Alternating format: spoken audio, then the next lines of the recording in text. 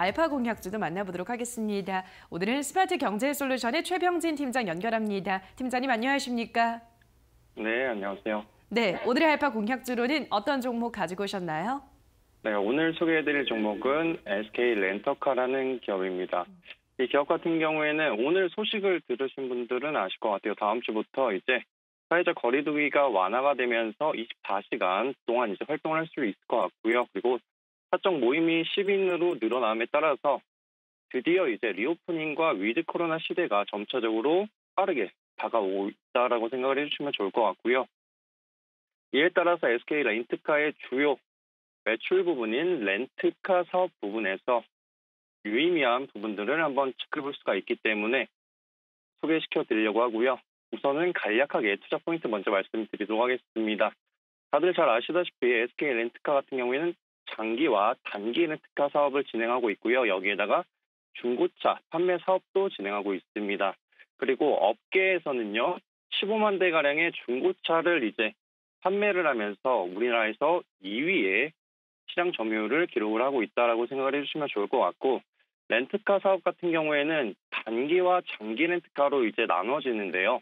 이 SK 렌트카 같은 경우에는 장기 렌트카 부분이 렌트카 사업 비중에서 높다 보니까 2020년도부터 지속이 됐던 코로나 시대에 있어서도 타격을 크게 받지 않았습니다. 그에 따라서 2021년도 사업 실적만 본다 하더라도 굉장히 선방을 하면서 유의미한 흐름을 나타냈다라고 봐주시면 좋을 것 같고 그리고 작년에 비해서 이제 올해 같은 경우에는 10%대의 이제 고성장을 예상을 하고 있고 올해 같은 경우에는 장기 렌트카 사업뿐만 아니라 이제 국가 간 이동이 자유로워지면서 사람들도 이제 오프라인 시대에 맞춰서 단기 렌트가 이제 확장세로 나타날 것으로 보고 있습니다. 이에 따라서 SK 렌트카 또한 단기 렌트카 부분의 성장 부분이 유의미하게 나타날 것으로 보고 있고요. 여기에다가 최근에 현대차나 기아차 같은 대기업군들의 중고차 시장의 출시가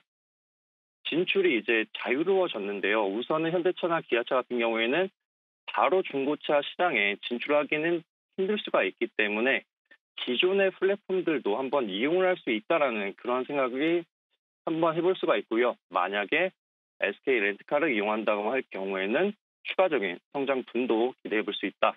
말씀을 드리겠습니다. 이에 따라서 우선은 다음 주부터 시작될 수 있는 그리고 나아가서 늦어도 5월 달부터는 reopening과 with 코로나 시대가 확실하게 개막을 할 것으로 보고 있기 때문에 지금 자리에서 한번 눌러준다고 할 경우에는 천천히 모아가시면 좋은 종목이다라고 말씀드릴게요. 그러면 차트로 넘어가서 가격 전략 설명드리도록 하겠습니다.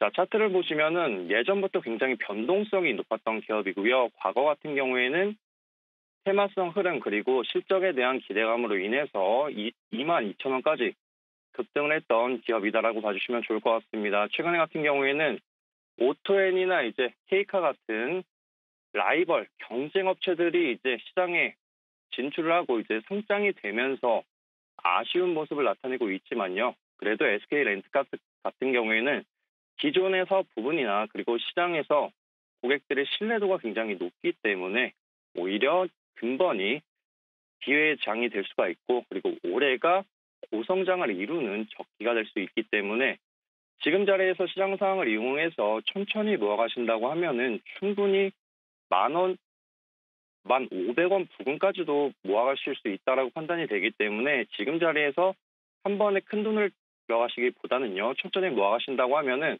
이미 추세는 기술적으로 상방을 확고히 하고 있습니다. 여기에다가 12,000원 부근만 빠르게 탈환해 준다고 할 경우에는 대세 상승 구도를 한번 기대해 볼 수 있기 때문에 우선은 지금 자리에서 천천히 모아가시면 굉장히 좋을 것 같고요. 목표 주가 같은 경우에는 조금은 이제 짧게 잡아드리겠습니다. 왜냐면은 12,500원을 잡아드리는 부분들이 이제 앞전에 존재하는 매물벽들이 두텁게 존재를 하고 있습니다. 그렇기 때문에 12,000원을 돌파한다고 하더라도 빠르게 치고 올라가기보다는 이 구간대에서 다시 한번 지지 라인을 형성할 수 있다라고 보기 때문에 우선은 12,500원 부근 잡아드리고요. 손절 라인은 만 원 부근 잡아드리면서 마무리하도록 하겠습니다. 네, 오늘의 알바 공약주로는 SK 렌터카 소개를 해주셨습니다. 오늘은 최병진 팀장과 함께했습니다. 팀장님 고맙습니다. 네.